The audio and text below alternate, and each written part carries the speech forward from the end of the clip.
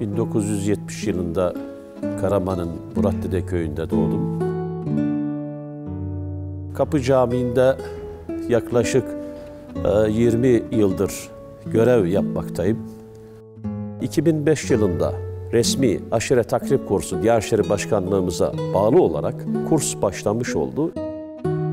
Ben e, zevkle ve huzurla Kapı Camii'nde imamlık yapıyorum.